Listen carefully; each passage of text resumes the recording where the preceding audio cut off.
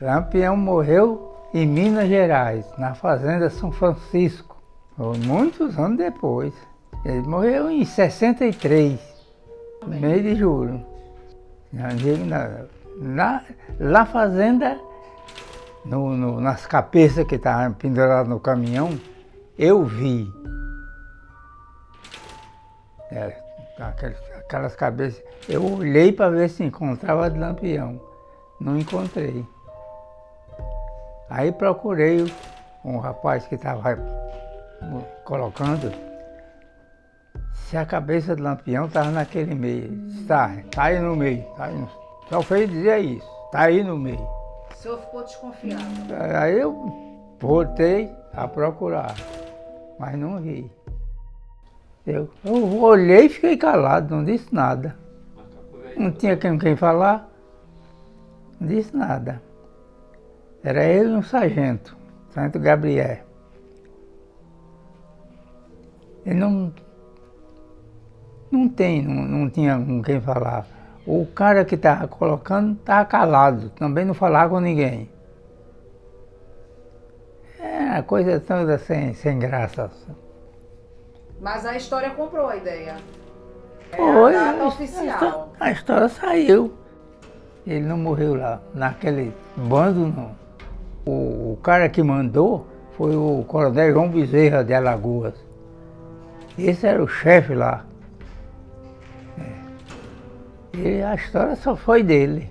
Procurei o, o cara que estava colocando, ele falou, falou de banda assim. Não. Tá aí. Foi o que ele disse. Tá aí. O senhor disse o quê? Perguntou. Qual é a cabeça do lampião? Aí ele disse, tá não, eu digo, aí o ô, ô, moço, e, a cabeça do lampião tá nesse meio? Tá aí. Foi o que ele disse. E eu olhei para tu, quando olhei para outro, olhei para outro, não peguei nada. Olhei e não vi nada. Fui para o outro lado do caminhão, não vi nada. Não, aqui não. Aí, também ele, o cara, não falou mais nada. O senhor disse a ele não que não está Disse a ele. Aqui não está não. Ele, ele também ficou calado, não disse nada.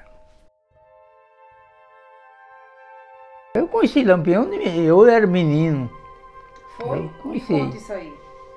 Conheceu onde? E lá em casa. Tomou café lá em casa muitas vezes. Chamava a mãe comadre. Comadre, tem um cafezinho? Tem. Pronto. Um cafezinho saiu e embora.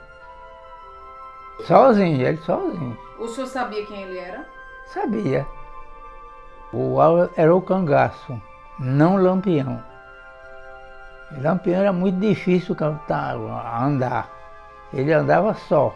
Ele andava com, com um companheiro ele tinha o um companheiro dele. Justamente quando ele saiu do bando, que atravessou o rio, atravessou de canoa. E do outro lado pegou um cavalo e foi embora. E dessa vez foi bater na, em Minas Gerais.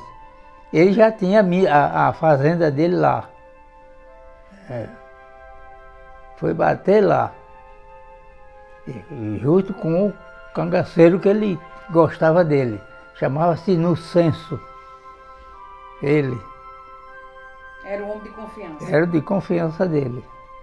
O bando deles era muito difícil passar. Eles andavam muito escondidos.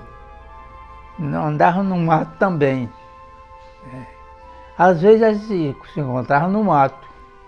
Era uma coisa casual.